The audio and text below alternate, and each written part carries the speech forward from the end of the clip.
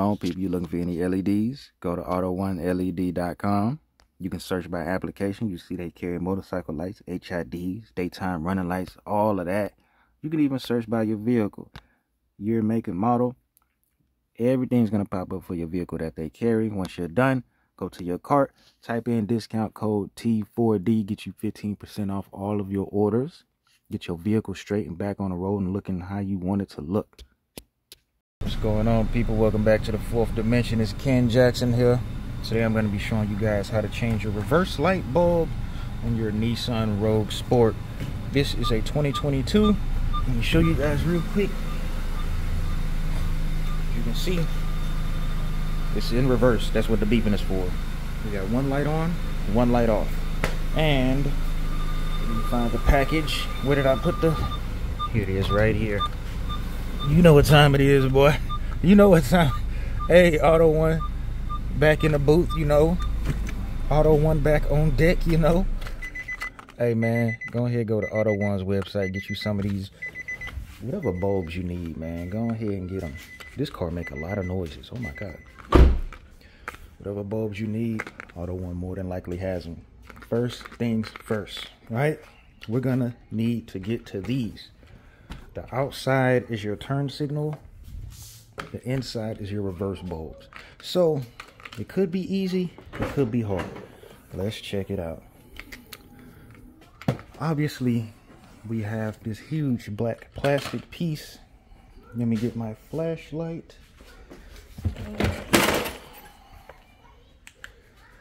Big black plastic piece that needs to come down. And it's looking like this might be a pretty simple job. You can ignore these, ignore these bolts. This is on the frame of the car.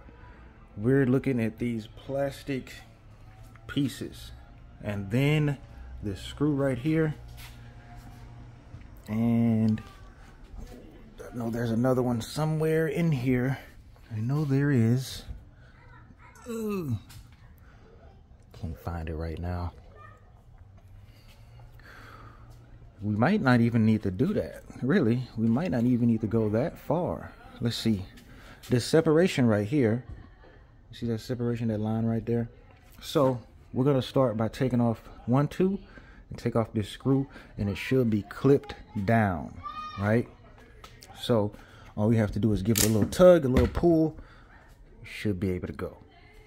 So we have it taken down. Like i said you have a plastic retainer clip. That's the word. That's the word I was thinking of. Retainer clip right here. Retainer clip right here. The screw right here. And that part actually separates. Comes out.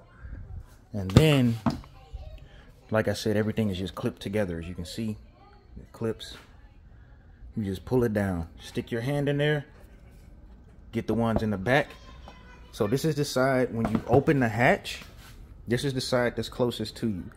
So what you can do, stick your hand in there. I'm sorry, I only got two hands, bro. Bear with me. Bear with me. Stick your hand up in there. Right? Press down. Obviously, you're going to have to hold the hatch up at the same time, right? Hold it down. Press it down. Unclip it. Stick your hand through this side. If your hand's thin enough, hold the hatch up. Pull that side down. As you can see, these actually slide in place. You have a few that slide in place, and then you have these that press up in there. once you have that off, you can leave that piece up there on, and you're right there at your bulbs. So let's start with the one that is not working. Let's see. We have the brake light, then we have the reverse light. This one should be the reverse light. Press the tab. Don't even press the tab. Don't listen to me. Don't listen to me. Twist. Twist. I might need my other hand for this. Let me see. I might need my other hand. Give me one second. So yes, it is a twist and pull it out. And that was a very, very tight, it's a tight, tight squeeze in there. And it was in there pretty tight. as soon as I pulled it out, the bulb came out. So it's like the bulb wasn't even locked in place. I don't know if this car went to Nissan and they didn't put it back together. I don't I don't know. let's find the auto ones. I'll put these in real quick. So here's the thing I didn't notice until now. There is a tab right there. There's a little prong right there. If you can see it, that's keeping you from twisting it to the left, twisting it this way to unlock it. So you can kind of press down and pull it, press down and push it this way to kind of get it out of there. But yeah, that's in a way for when you try to unlock it and lock it back in place. Now, I was saying, I don't know if this car went to Nissan for some reason, or maybe the hatch was slammed too tightly a few times and the bulb just got loose. Who knows? But let's test it out. Moment of truth. Foot on brake. Okay. Put it in reverse. I see some light action back there. See some lights going on. There we go. It's on. It looks pretty good too.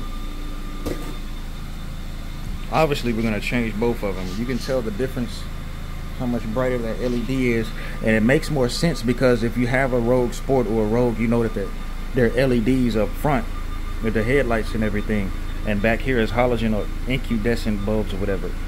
But you can test. Those lights are still working. The turn signal is still working. It looks good.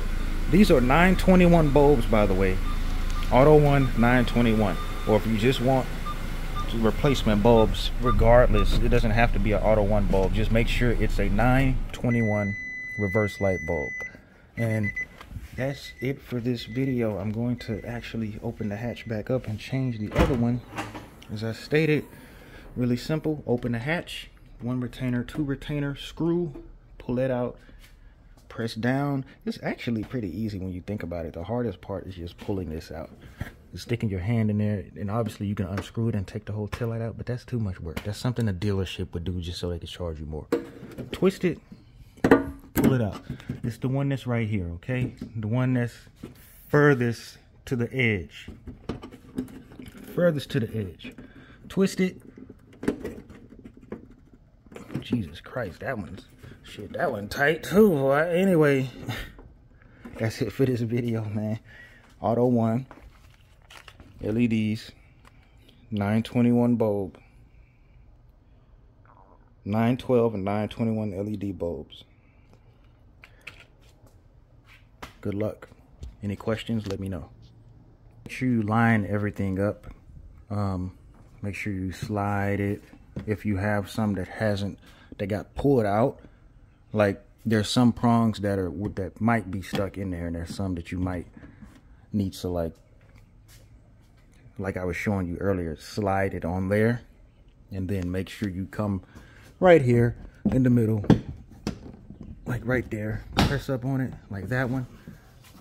Press up on it, make sure they click.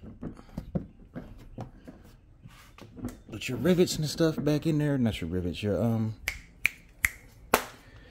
retainer clips. Jesus Christ. Put your retainer clips back in there. There's one get your little hand cubby thingy put that back in there where's it at anyway I'm gonna show you guys what it looks like having both of the lights on real quick.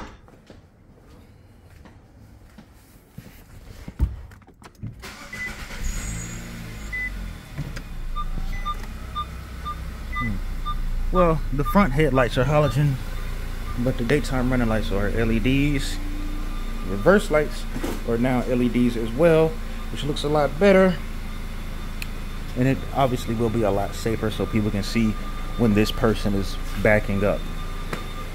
Instead of only seeing it from one light they can see it from both. And obviously for inspection purposes it'll be good for that. Anyway now that's it for this video. Thank you guys for watching